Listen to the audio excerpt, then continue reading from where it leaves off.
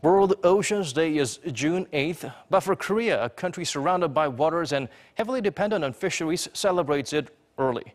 The appearance by a sitting president at the official ceremony for the first time in 14 years lent weight to the significance of this year's event.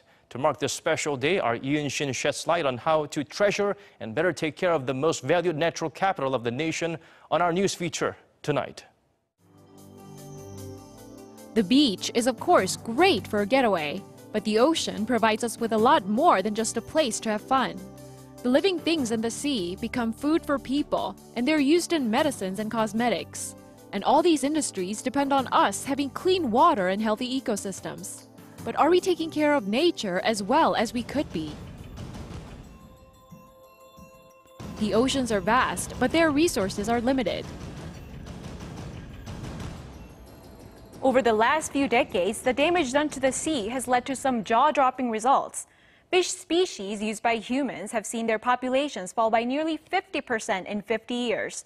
And the decline is even more dramatic in terms of the fish that local communities rely on for their livelihoods. During that half century, the numbers of rat mackerel and tuna have shrunk by more than 70%. The most rapid decline was some time ago between 1976 and 1990 but experts say there's still no sign of a recovery overall.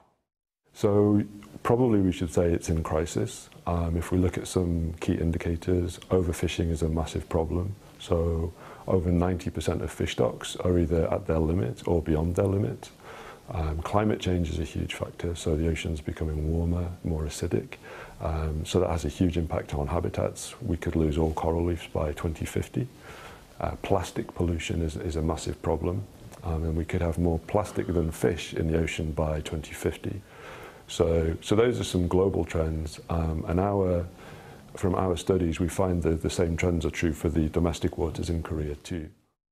In fact, fish stocks in Korea's own waters have fallen sharply since the mid 90s, now estimated to be just at 57% of what they were in the 1950s.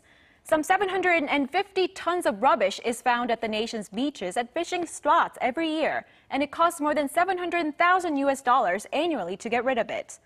The government is trying to do something about this through regulation, and global organizations are coming up with resource management plans.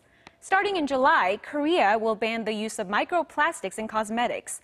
These plastic particles are among the biggest threats to ocean ecosystems as they are consumed by sea creatures and then make their way up the food chain to the dinner table.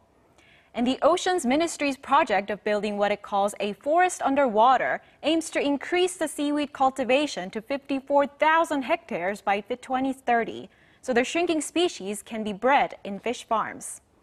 Is on overfishing. Uh, we look at how we can work with companies to adopt certification schemes uh, which basically help to ensure that fishing is done within safe limits um, and it minimises some of the effects on the on the on the ecosystem like like pollution. Um, so that's partly working with companies at the same time helping the public to choose more sustainable options. The role of the government is pivotal, especially when it comes to topics like global climate change, to push for a future powered by clean energy. But the process of repairing large-scale damage is long, and it requires coordination by the public and private sectors. Even the regulations that are in place, from a allowed period of fishery for certain types of fish to the size of fishing nets, are poorly followed. These matters cannot be solved unless residents realize the value of the ecosystem. The more people are educated about the ocean, the more specific government rules become, and the more voluntarily those can be followed.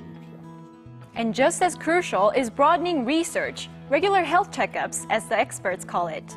The ocean is considered natural capital, but in terms of how it enriches our lives, you can't put a price tag on it. And for Korea, a country surrounded by three seas from which it has gained so much, giving back is long overdue.